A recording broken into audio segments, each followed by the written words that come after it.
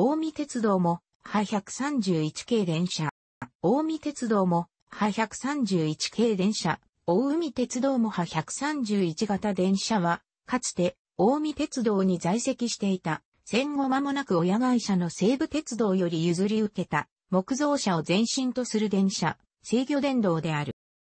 本校では、モハ131系電車と同様に、西武鉄道から譲渡された木造車を種車とする、制御電動車も、ハ105系電車、モハ201系電車、初代、及び制御尺派1201系電車、初代について記述するとともに、上計画形式の車体高大会高の形式である、モハ131系電車、モハ133型電車、クハ1205系電車、クハ1207型電車、クハ1208系電車、クハ1212系電車、クハ1213型電車、クハ214型電車、クハ1216系電車の各形式の動向についても小述する。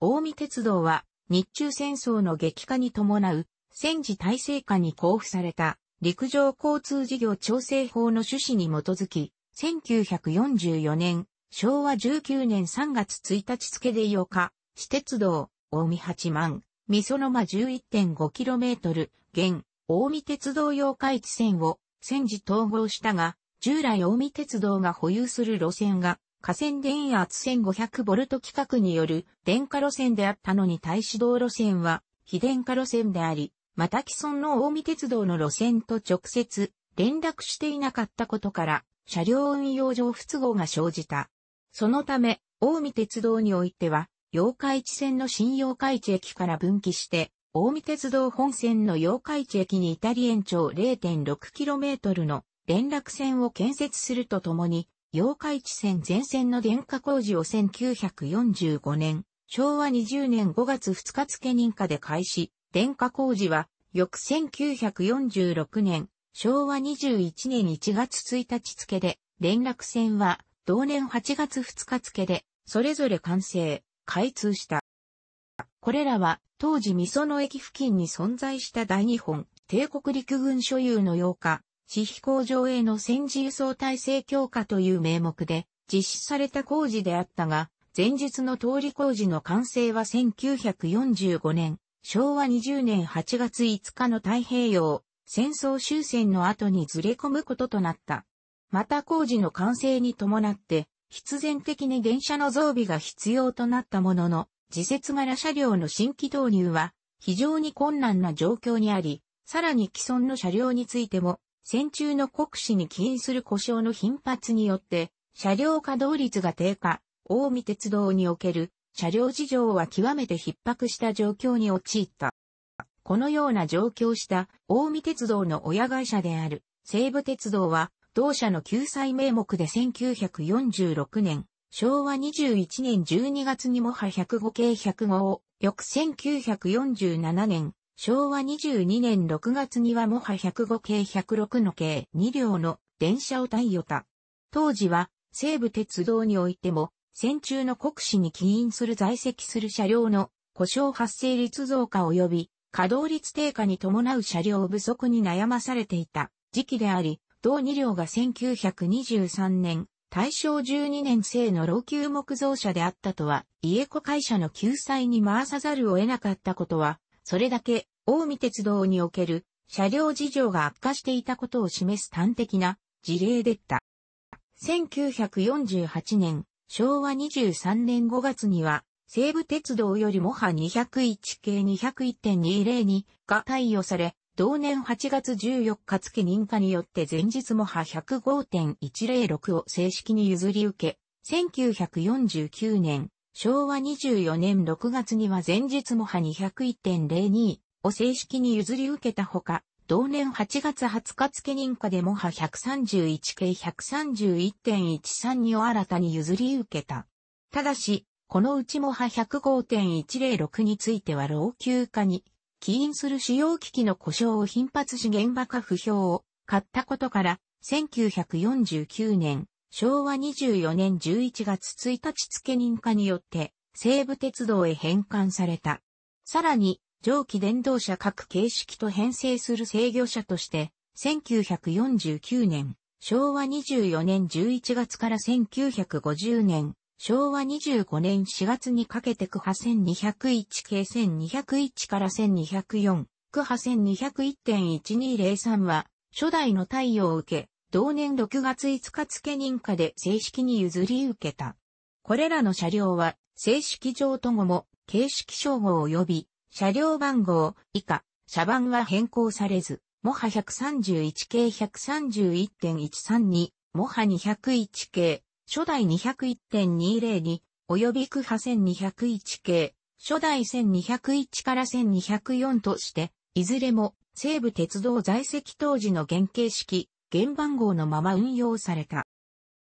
上規格形式による運用実績から従来の近江鉄道においては連結運転を行う場合、電化以前の蒸気動力当時から運用される木造客車を電動車が牽引する形態であったものを終端駅における着回しが不要となる電動車、制御車の組み合わせによる運行に全面的に改めることとなり、1955年、昭和30年9月から1957年、昭和32年3月にかけて、西武鉄道より区派1251系1252.1254から1260、及び区派1201系1203、2台の計8両を譲り受けた。これまでの西武鉄道からの譲渡車両はいずれも西武鉄道在籍当時の車番を踏襲し、車席も西武鉄道からのものを継承して導入されたが、同8両については近江鉄道に在籍した木造客車の車席を継承して、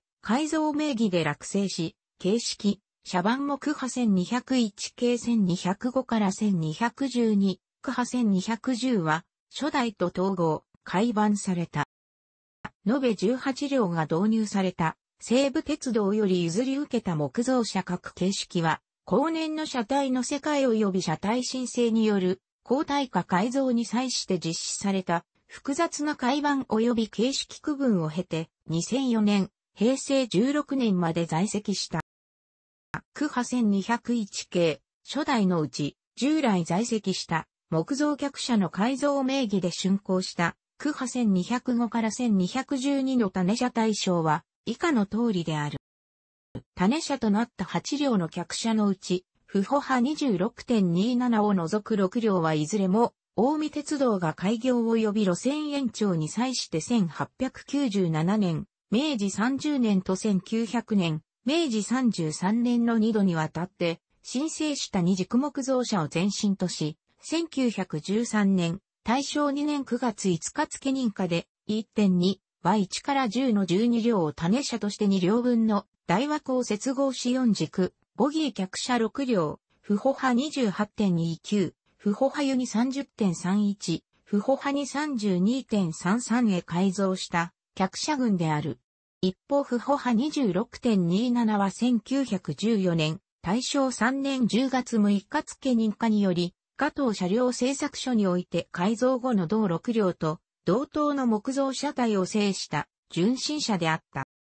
以上8両の4軸ボギー木造客車は1928年昭和3年4月の全線電化完成後は用途を失い、一旦全車とも運用を離脱したが、1930年、昭和5年10月以降に電車の増結用車両として順次運に復帰した。戦後、木製台枠を用いる、不歩派に32.33及び機構、併用台枠を用いる、不歩派28.29不歩派湯に30.31の6両に対して廃車となった貨車の解体発生品である鋼材を転用して枠補強が実施されるなど手を加えられつつ運用されたが、前述の通り電動車、制御車の組み合わせによる運行に全面的に改める方針が策定されたことに伴って、不歩派27から29不歩派ユに30.31、不歩派に32.33の7両が1956年昭和31年1月19日付認可により、西部区派1251系の車体を流用して区派1205から1211、区派1210は初代へ改造され、旧車体は廃棄された。同7両は導入当初は付随車、派1205から1211という記号番号が付与されたが、これらは書類上の扱いに過ぎず、原車はいずれも当初から制御車として落成した。不歩派26については、状態が比較的良好であったことから、改造対象から外れ、1956年、昭和31年7月に未認可のまま、制御車化改造を実施しく派1212と記号番号を改めて継続使用されたが、1957年、昭和32年3月に西部区派1203、2台、旧バンク派1253の車体を流用して更新され、旧車体は廃棄された。書類上の扱いは、車体乾燥時に制御車化改造を実施したこととされ、1957年、昭和32年4月21日付認可で竣工した区派1212の名義上の種車は、区派1212ではなく、不歩派26となっている。いずれも全長16メートル級の鉄骨木造車体を備え、制御電動車も、派131系、モハ201型は、両側妻面に運転台を有する両運転台、構造、制御尺派1201型は、片側妻面にのみ、運転台を有する、片運転台構えである。いずれも、側面3箇所に、片返式の手動客用扉を備える3、扉構造で、車内は、ロングシート使用、車体塗装は西武鉄道在籍当時と同様に、下半分をマルーン、上半分をイエローとした2色里である。モハ131型は、西武鉄道の前身事業者である、武蔵野鉄道が発注した1925年、大正14年10月製の制御電動車で、ハ130型を、モハ201型は1926年、大正15年10月製の制御車、サハ135系、後動車化され、デハ135系をそれぞれ前身とする。製造はいずれも、汽車製造東京支店で、両サ面の雨どいが円弧を描いた形状となっている点が特徴である。屋根部は二重屋根、ダブルルーフ構造で、運転台部分には乗務員扉を備え、側面窓配置は DD22-222DD、D、乗務員扉、D、客用扉である。また、両形式とも導入当初は原型通り進行方向右側に運転台を備えていたが、運用開始のちほどなく運転台を左側に移設する改造を施行した。区派1201系のうち、区派1201から1204は、武蔵野鉄道が同社路線の電化完成に際して、1922年、大正11年6月に、梅鉢鉄工所、後の帝国車両工業において、申請した制御電動車で、派100型を見とする。前面雨どいは直線形状で、屋根部は二重屋根構造、側面窓配置は DD4-2D22-2D1 である。同4両についても運用開始後に運転台を原型の右側から左側に移設する改造を施行した。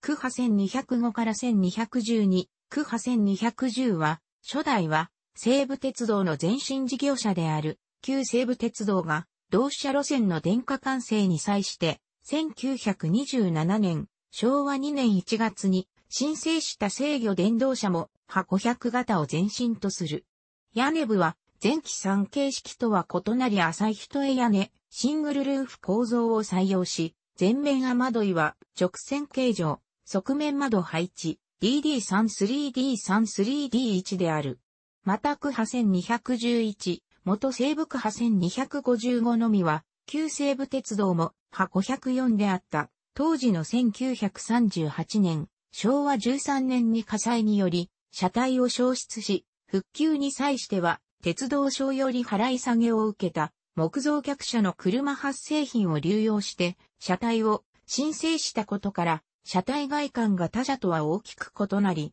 側面窓配置は DD4-3D34D1 であった。同8両については、当初より自動扉仕様で導入され、また、西武鉄道在籍当時より、運転台を妻面中央部に備えており、運転台の移設は行われなかった。モハ131系、モハ201型は、ゼネラルエレクトリック社製 M コントロールの系譜に属する電空間無軸式の自動診断式制御装置 RPC-101 GE 製もしくは芝浦製作所製を GE 製の G-244A 種電動機もしくは同機種の国内ライセンス生産版である芝浦製作所製 SE-102 種電動機低角出力 105HP イコール 85kW をそれぞれ搭載する。制動装置は GE 社開発の J3 動弁を採用する AVR 自動空気ブレーキ、もしくは GE 社とライバル関係にあったウェスティングハウスウェアブレーキ社開発の M3 弁を採用するアム、アクム自動空気ブレーキを搭載する。台車はモハ131系、モハ201型が鉄道員正式台車 DT10 系のクハ1201系1201から1204が同 TR10 系の基本設計をそれぞれ踏襲し、固定軸間距離を縮小した独自仕様による釣り合い、両式台車を期した。これらはいずれも西武鉄道在籍当時からの装備品であったが、クハ1201系1205から1212、クハ1210は初代については、導入に際して名義上の種車となった木造客車より流用した T10 台車及び各種造形台車に換装された。また、クハ1205から1208.1212の5両については、1956年、昭和31年2月から翌1957年、昭和32年7月にかけて、台車を汽車製造製の軸バネ式台車 BW-54 から18リットルへ換装した。同台車は高野山電気鉄道が同社の路線開業に際して申請した101系電車が落成当初装着した台車であり、後年の台車換装に伴って西武鉄道及び京福電気鉄道へ転売されたものを大見鉄が入手したものであった。同台車は原設計が路面電車用台車そのものであったことから、高速運転には適さないという致命的な弱点を抱えており、後述する高体化改造に際してはいずれも TR11 台車に換装され、BW-54 から18リットル台車を含む木造車台当時に装着した旧台車はすべて廃棄された。導入後は前日運転第一移設のほか、客用扉が手動扉であった車両についてはと並装置、ドアエンジン設置による自動扉化が実施され、モハ201.20に及びクハ1201から1204が1956年、昭和31年8月3日付認可で、モハ131.132が、翌1957年、昭和32年8月14日付認可で、それぞれ施行された。さらにモハ131.13に及び区派1203.1204を対象に1957年、昭和32年8月14日付認可で、屋根部のシングルルーフ化改造が実施され、区派1203.1204については区派1214.1215と改版れた。もっとも、同時期には口述する高体化改造計画が具体化したことから移行同様の改造は実施されず、また区派1201.1202については、同日付でシングルルーフ化改造認可を得たもの結局、施行されずに終わった。1956年、昭和31年11月に、大見鉄道本線と並行する日本国有鉄道、国鉄東海道本線の全線電化が完成、80系電車が運用を開始した。それに伴って本校にて扱う各形式を含む大見鉄道の保有する木造電車群が著しく見劣りするようになったことに加え、運輸省当時より車両不燃化対策に関する通達が下ったことによ、木造車の代替を推進せざるを得なくなったことから、大見鉄道においては、木造車体を有する各形式に対する修繕工事を取りやめ、1958年、昭和33年より車体の交代化改造を開始した。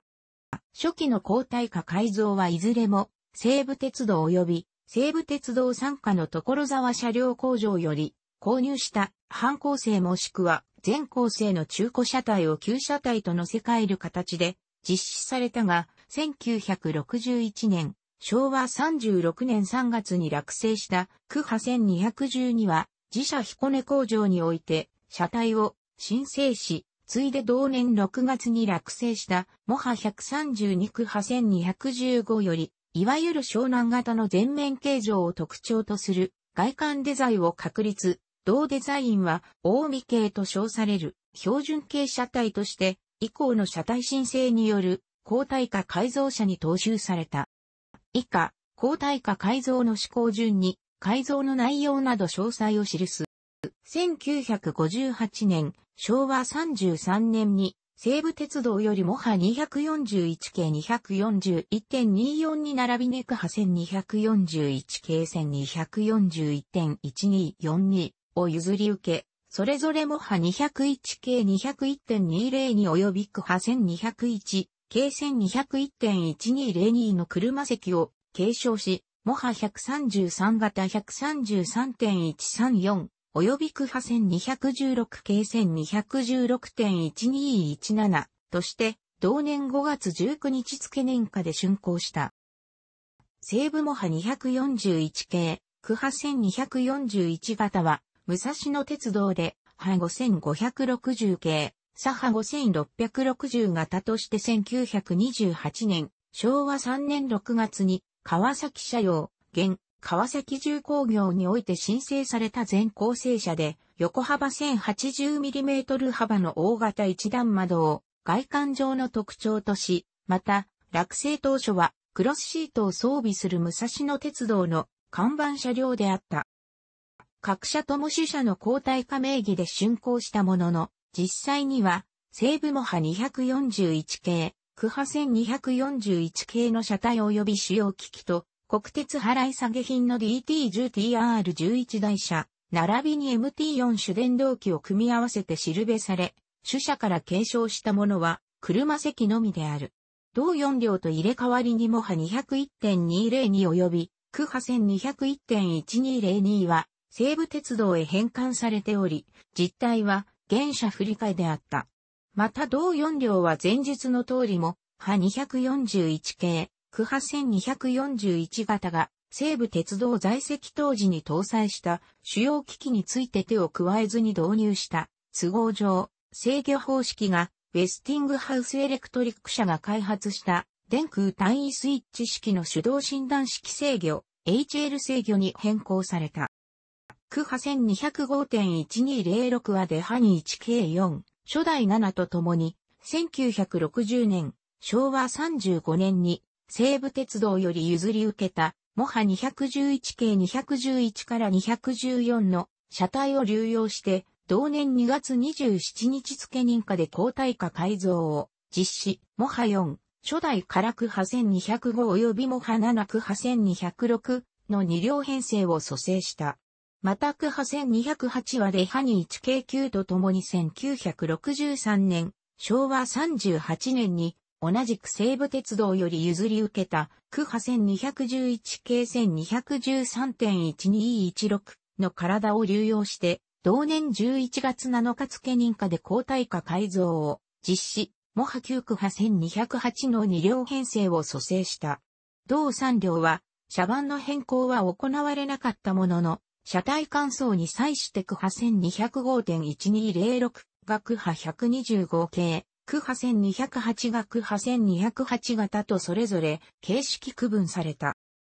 西部モハ211型は、武蔵野鉄道で、派320系、左派325型として1926年、大正15年10月に、川崎造船所において申請された、武蔵野鉄道発の反抗性車両であり、区派1211型は、前述に形式の増備形式として1927年、昭和2年3月に日本車両製造において申請されたデハ1320系、サハ2320サハに3323型を前身とする。いずれも従前の木造車体は台枠を含めて廃棄され、また車体振り替えに際しては台車を含めて種車より流用された部品は存在せず、高体化改造は名義上の扱いに過ぎない。工下電気鉄道区派1060型1061が西部所沢車両工場において実施した高体化改造に際して不要となった旧大枠を購入、西部所沢車両工場の技術協力を得て自社彦根工場において変運転台化前の車体を申請し、区派1212系1212として1961年昭和36年3月31日付認可で竣工した。彦根工場はこれまで鉄道車両の製造経験はなく、区派1212が自社製造車両の第1号車となった。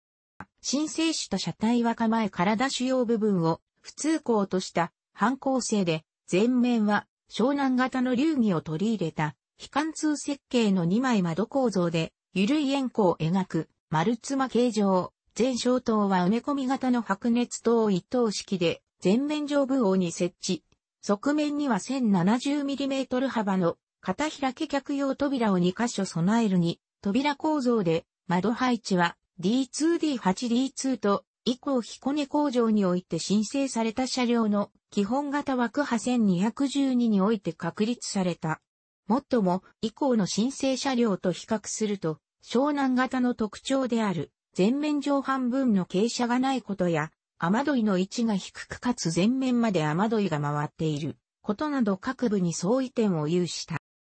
前述区派1212に次いで、1961年、昭和36年6月にも派132区派1215が、翌1962年、昭和37年2月にも派131区派1214がそれぞれ落成し、いずれも2両編成を蘇生した。車体乾燥後は、モハ131.13には交代化以前と、同様にモハ131型を称し、クハ1214.1215については、車番はそのままにクハ1214型と形式区分された。いずれも種車の大枠及び使用機器を流用して、車体を申請する形で交代化改造が実施され、申請された車体は、制御電動車も、派131系、制御尺派1214型ともに、型運転台構造である。車体枠派1212の基本設計を踏襲しつつ、当時の西武鉄道における代表形式であった、モハ501系の影響を受け、前面形状上半分に傾斜を設けた純然たる、湘南型デザインに変更した点が印である。その他、側面の開閉可能窓をアルミサッシとしたほか、雨戸を側面にのみ設置して前面は張り上げ、屋根構造とするなど、区派1212と比較して全体的に洗練された外観となり、前述の通り道4両において確立された外観デザインは、大見系と称されることとなった。側面窓配置はいずれも区派1212同様、D2D8D2 である。また、モハ131区8214においては、戸袋窓が冊子窓から H ゴム固定指示窓に改良された。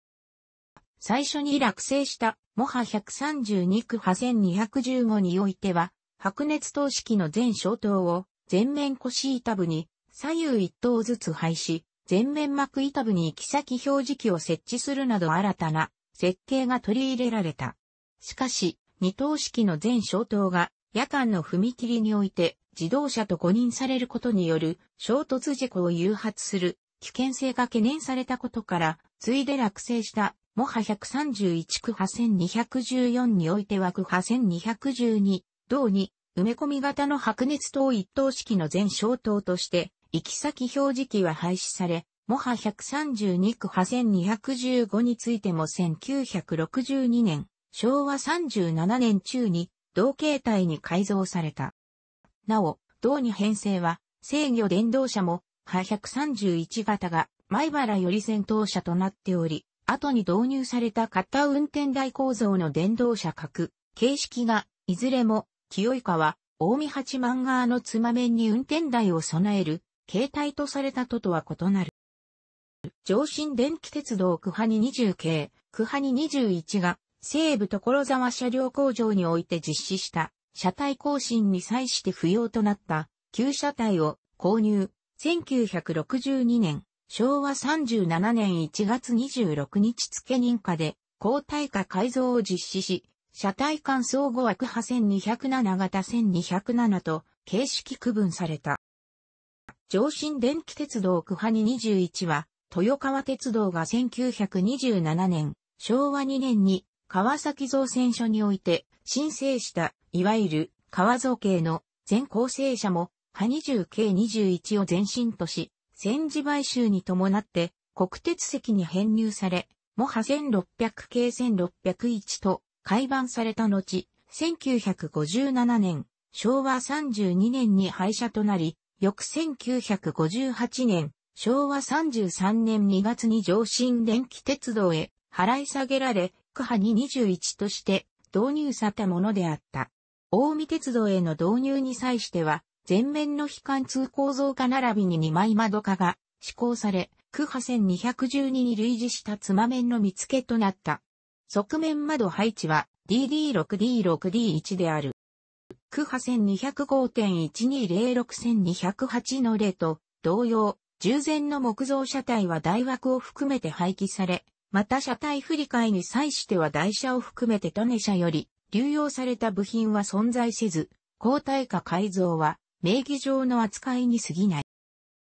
同産業は1964年、昭和39年6月から1965年、昭和40年11月にかけて、前述模波131.132区波1214.1215と同様の手法により、車体を申請、竣工に際して9番順に区波1218から1220と改版され、区波1213型と形式区分された。同産業は同時に車体を申請したデハニ 1K3.46 を種車とするモハ 1K3.46 とともに2両編成を蘇生し、モハ3区派1220、モハ4区派1219、モハ6区派1218と編成された。車体外観は前述モハ131区派1214と同一の大見系であるが、種車の相違から全長が若干異なる。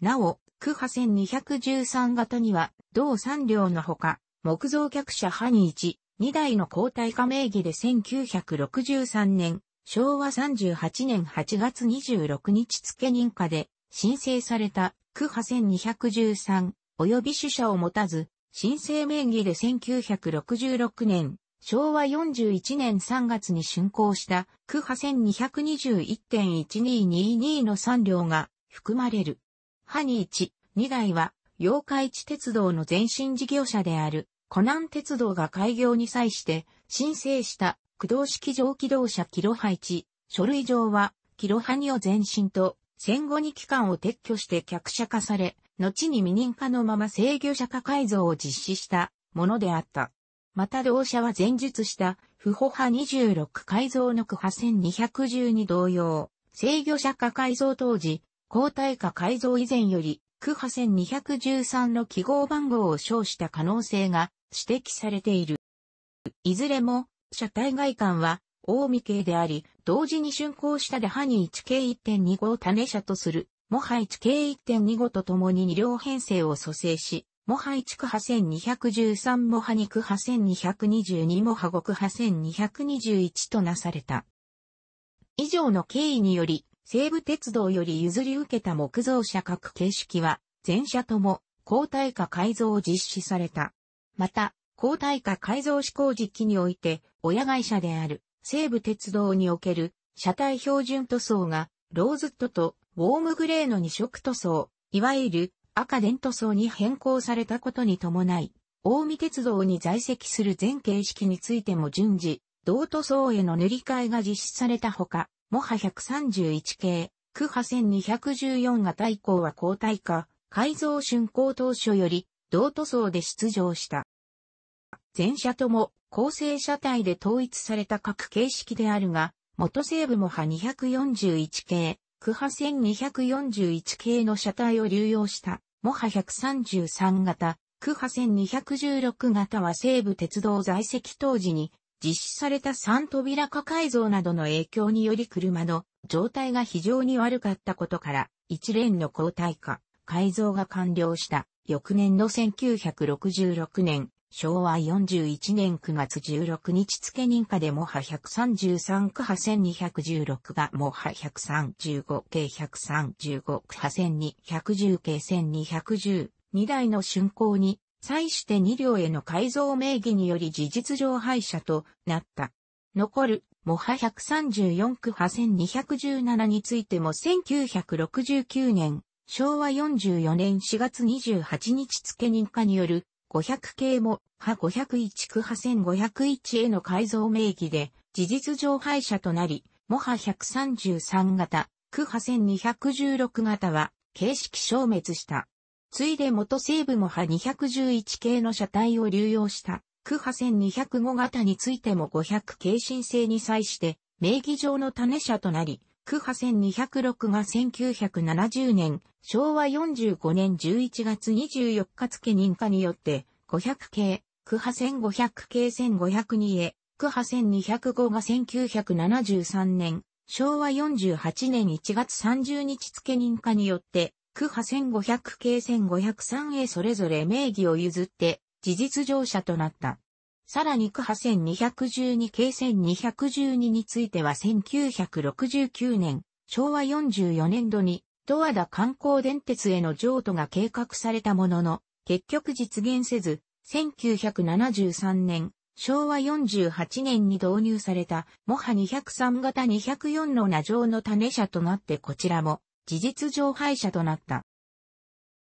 一方で早期に多形式への改造主車とならなかった各形式については、1969年、昭和44年以降台車軸受け部を平軸受け、プレーンベアリング使用から、コロ軸受け、ローラーベアリング使用改良する工事が1971年、昭和46年3月にかけて順次実施された。さらに国鉄及び西武鉄道から購入した中古部品によって電動車の台車の DT12 化及び制御車の台車の TR11 化制御装置の電空カム、軸式 CS5 への換装及び弱め会、自接触機 CS9 の新設、主電動機の MT15CMT15E、端子電圧 750V 時定格出力 104kW への統一、制動弁の A 弁への換装に伴う AMA、赤自動空気ブレーキ化など、各種改造が施行された。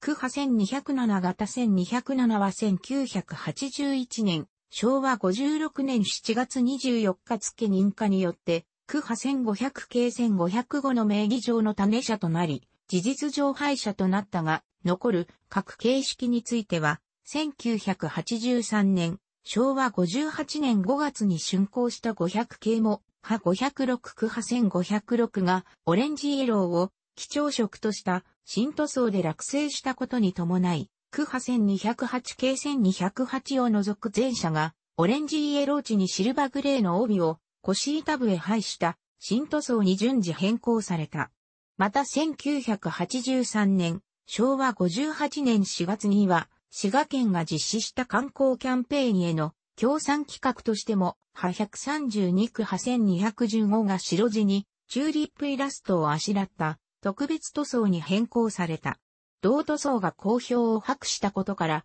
同年7月よりも派131区派1214を白地にカブトムシなど、昆虫のイラストをあしらった昆虫電車として供した。また1985年、昭和60年9月の滋賀県観光キャンペーンに、際してはもは131区派1214が、白地に、琵琶湖特産の鮎のイラストをあしらった我が鮎号となった。経営合理化を目的として1987年、昭和62年5月1日より、大見鉄道全線でワンマン運転が実施されたことに伴い、区派1208系1208及びモハ132、区派1215の3両を除く残存する全車を、対象バックミラー及び、車内運賃箱新設など、ワンマン運転対応改造を実施。さらに1988年、昭和63年から翌1989年、平成元年にかけて、ワンマン運転対応編成を対象に、台車の空気バネ台車及び制動装置の電気、指令式空気ブレーキ化が施行された。乾燥された台車は西武鉄道より購入した住友金属工業製の車体と枕羽の間に枕両、上揺れ枕を設けたインダイレトマウント式のペデスタル型台車 FS40 で同台車は500系全編成を含む近江鉄道に在籍する大半の車両に装着され、一時期における近江鉄道の標準型台車となった。稼働編成に対しては蒸気改造が施行される一方、老朽化が著しく1980年代以降、運用から離脱し、長期間旧車状態にあった区派1208系1208は、編成相手である、モハ旧京級とともに1990年、平成年12月27日付で除籍され、全線ワンマン化以降運用から離脱し台車乾燥、及び制動装置改良の対象から漏れた、モハ132区派1215が1993年、平成5年6月18日付認可で800系も、派801区1801への改造名義により、事実上廃車となった。また、各種改造を施行した編成についても、1995年、平成7年2月16日付認可でモハ131がモハ220系225への改造名義で、事実上廃車となくことを皮切りに、従来車の代替目的で導入された800系への改造名義によって、順次淘汰が実施され、改造名義、車席継承の対象外となった車両を含めて2004年、平成16年までに全廃取った。楽しくご覧になりましたら、購読と良いです。クリックしてください。